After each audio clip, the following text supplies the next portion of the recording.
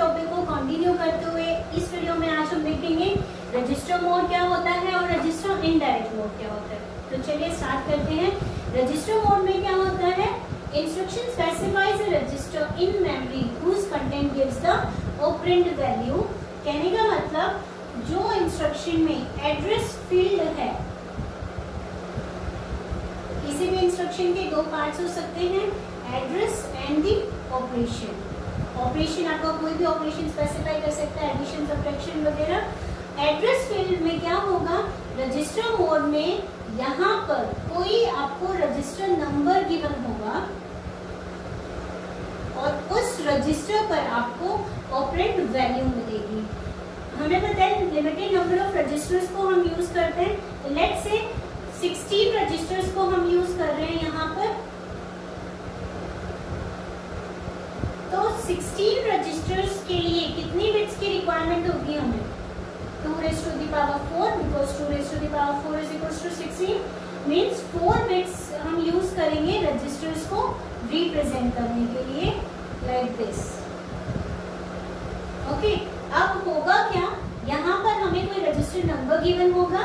हम उस particular register number को एक्सेस करेंगे और यहाँ पे जो भी डेटा हमें मिलेगा, उसे हम एज ऑपरेंट वैल्यू को यूज़ कर लेंगे फॉर एग्ज़ाम्पल ये हमें इंस्ट्रक्शन गिवन है एल डी मीन लोड और यहाँ पर ये आपको गिवन है रजिस्टर नंबर आपका ऑपरेंट आपको कहाँ मिलेगा? रजिस्टर नंबर पर। एड्रेस फ़ील्ड में आपको गिवन होगा आर वन अब हम क्या करेंगे? हम रजिस्टर आर वन को एक्सेस करेंगे और यहाँ पर जो भी डेटा होगा, उसे एज अ ऑपरेंट मान के अपने ऑपरेशन में यूज़ कर देंगे।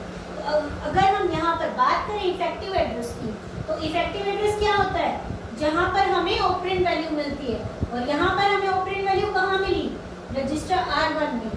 रजिस्टर आर वन के एड्रेस पे या रजिस्टर के नंबर पे। तो यहाँ पर इफ़ेक्टिव एड्रेस होगा आपका ये। अब बात करते हैं रजिस्टर इनडायरेक्ट मोड की।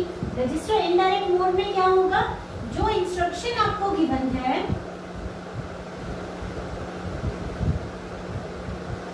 इसमें जो एड्रेस फ़ील्ड है, यहाँ पर क्या होगा? आपको कोई रजिस्टर नंबर गिवन होगा।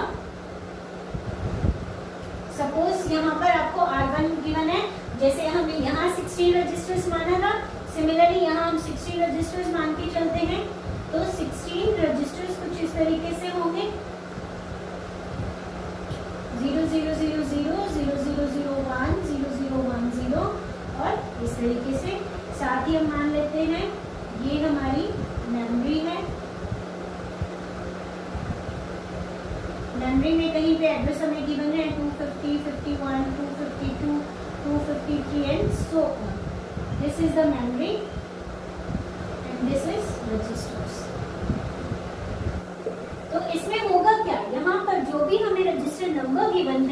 हम उस पर्टिकुलर रजिस्टर को एक्सेस करेंगे।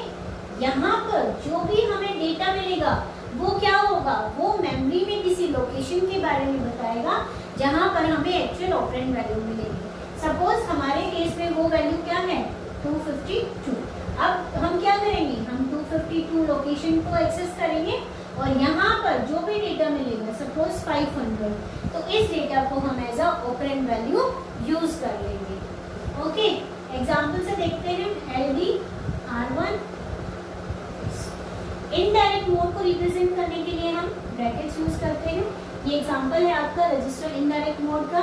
इंस्ट्रक्शन क्या है? Load R one with indirect mode इसमें होगा क्या? सबसे पहले हमें क्या करना है? रजिस्टर आर वन को एक्सेस करना है। अब रजिस्टर आर वन पे जो भी डेटा हमें मिलेगा, वो क्या है? वो मेमोरी लोकेशन है। हमें उस मेमोरी लोकेशन को एक्सेस करना है और वहाँ पर जो भी डेटा होगा उसको एक्यूमुलेटर में स्टोर करवाना है। तो इस तरीके से ये इंस्ट्रक्शन को एग्जीक्यूट किया जाएगा। अब अगर हम बात करें इफ़ेक्टिव एड्रेस की इस केस में इस केस में हमारा इफ़ेक्टिव एड्रेस क्या होगा? 252 क्योंकि 252 वो लोकेशन है जहाँ पर हमें ऑपरेंट वैल्यू मिली है और यहाँ पे ऑपरेंट वैल्यू क्या है? 500 so so, this is the register indirect mode अब अगर हम बात करें बेनिफिट्स की तो बेनिफिट्स क्या होंगे? सबसे पहला बेनिफिट आ जाता है आपका स्पीड जब भी हम रजिस्टर्स की बात करते हैं, हम कहते हैं लिमिटेड नंबर ऑफ़ रजिस्टर्स हम यूज़ करते हैं।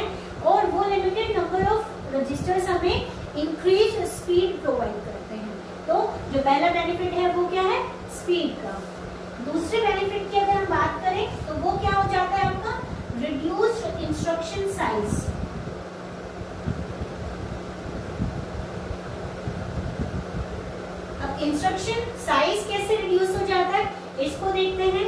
सपोज़ हमारे पास मेमोरी है वन मिलियन वर्ड्स की। तो वन मेमोरी वर्ड्स को रिप्रेजेंट कर वन मिलियन मेमोरी वर्ड्स को रिप्रेजेंट करने के लिए हमें कितने बिट्स की रिक्वायरमेंट होती है? ट्वेंटी बिट्स की। अब ट्वेंटी बिट्स को अगर हम एड्रेस फ़ील्ड में यूज़ करें तो हमारे इंस्ट्रक्शन का साइज़ क्या हो जाता है? बड़ा हो जाता है। तो हम यहाँ पर एक और ऑप्शन चूज़ कर सकते हैं हम क्या कर सकते हैं ये जो ट्वेंटी बिट एड्रेस है, उसको किसी पर्टिकुलर रजिस्टर में स्टोर करा देते हैं। हमें पता है रजिस्टर्स लिमिटेड होते हैं। जैसे एग्जांपल में हमने कंसीडर किए थे 16 रजिस्टर्स के लिए, कितने बिट्स की रिक्वायरमेंट थी? 4 बिट्स की। अगर मैं बात करूँ 32 रजिस्टर्स तो 5 बिट्स की रिक्वायरमेंट होगी। अगर हम बात करें 64 रजिस्टर्स की तो यहाँ पर 6 बिट हो जाएगा। As compare to 20 4 bits are less 5 are less and 6 bits are also less तो हम ये काम कर सकते हैं कि जो 20 बिट्स हैं, उसको किसी रजिस्टर में स्टोर करवाएँ और रजिस्टर का एड्रेस फिर हम इंस्ट्रक्शन के एड्रेस फ़ील्ड में स्पेसिफाई करें। तो एड्रेस फ़ील्ड में होगा क्या? हमें यहाँ पे सिर्फ़ फोर बिट की रिक्वायरमेंट हुई या फाइव की या सिक्स की तो आपका जो इंस्ट्रक्शन का साइज़ है, वो रिड्यूस हो जाएगा